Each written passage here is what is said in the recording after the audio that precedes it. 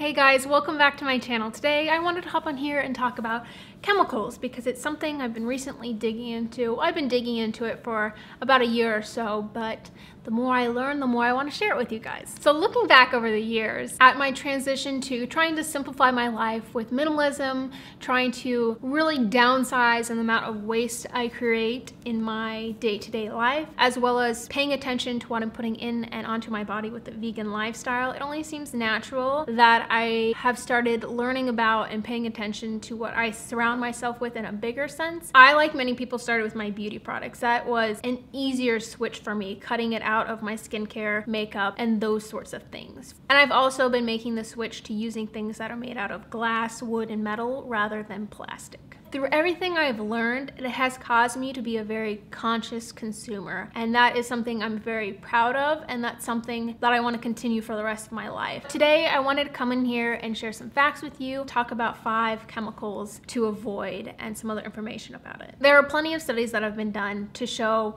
that people contain chemicals. We have chemicals all over us because of what we're surrounded by. And there's also been tests done on newborns to show that before they come out and are exposed to anything by themselves, they're already exposed to chemicals. So the first one is a common one that I think a lot of people know about is BPA. I just kind of assumed like, okay, people are talking about it, they're taking care of it, but that's not always the case. Let me just read the list of things that BPA is found in. So it's found in water bottles, baby bottles, reusable food containers, plastic tableware, infant feeding cups, linings of cans, jars, lids, CDs, as well as electrical and electronic equipment and dental sealants. So there's also quite a few health risks that I have jotted down that I want to share with you. A higher exposure of BPA leads to things such as reduced male sexual functions. It poses a potential cancer risk, which is always scary. I feel like we get so numb to things that cause cancer because so many things cause cancer. But the more you can do to avoid cancer causing materials, the better I think.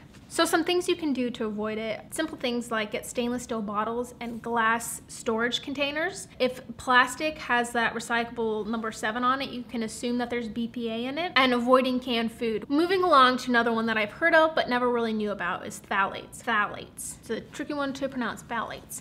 It's found in a lot of beauty products like shampoos, conditioners, body and hair sprays, perfumes, cologne, soap, nail polish, shower curtains, medical tubing, IV bags, vinyl flooring, wall coverings, food packaging and coatings on time-release pharmaceuticals, so like pills and medications. There is studies that show a link between prenatal exposure and an incidences of ADD years later, as well as it being an endocrine disruptor. And there's also a link between it and male sexual development. How can we avoid it? Obviously buying things that say it's free of phthalates, but also avoid personal care products that list fragrance because companies are not forced to disclose ingredients that fall under the category of fragrance. Moving right along, we're gonna go talk about one that I had never heard about before, which is PFOA, also known as C8, I guess. It's found in things such as Teflon and other non-stick, non-stain, and water repellent coatings such as cookware, waterproof breathable clothing, furniture, and carpets. And the scary thing about the health risk for this one is it is found in almost everyone's blood, and they have found that it causes cancer and developmental problems in lab animals. But to avoid it, you can switch to stainless steel or cast iron cookware. And if you do have nonstick cookware and you're unable to make the switch, don't overheat the cookware. Another one that I've heard about before is formaldehyde. Things like pressed wood products like particle board, plywood, and that sort of stuff, as well as glue and other adhesives and durable durable pressed fabrics like drapes. So it turns out formaldehyde can cause cancer in your respiratory or gastrointestinal tract, and it also causes nausea, skin irritation, watery eyes,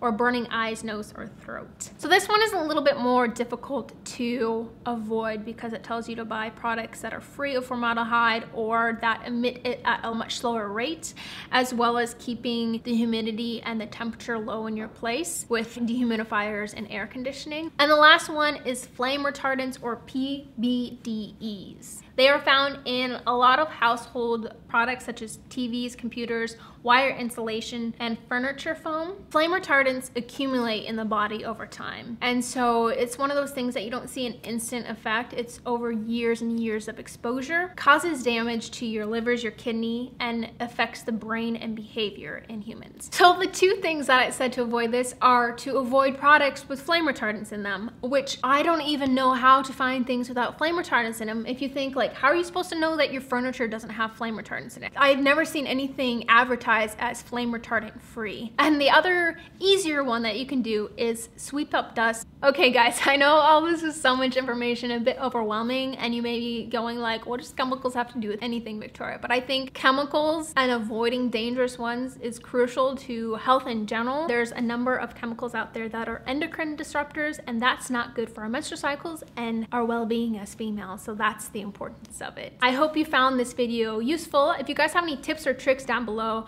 of how you've tried to cut out chemicals in your life, please share them. I think that would be very beneficial to me and other people that are watching. And of course, don't forget to subscribe. And I've also included in my description box all of my social media information as well as my website and my links to my two different courses and my one-on-one -on -one menstrual coaching. Thank you so much for watching and I'll see you guys next time. Bye.